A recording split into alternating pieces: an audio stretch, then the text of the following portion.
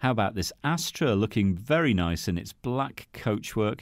This is a car registered in July 2015. It's covered about 16,000 miles, so nicely run in, however, as good as new, really.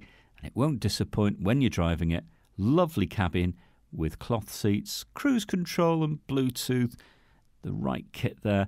The 1.4 petrol, I don't think is going to give you any problems or worrisome running costs about 50 to the gallon combined. The price you see is the price you pay. There's no hidden charges or extras at FOW. Don't forget you can part exchange and we can arrange finance with no problem. Bring your license with you, have a test drive, come and discover this great car for yourself at Fords of Winsford.